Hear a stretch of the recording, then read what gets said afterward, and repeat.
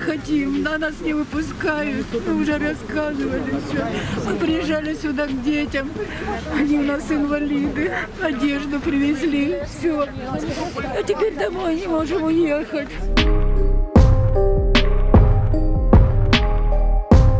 Нас не пускают, нас не выпускают домой.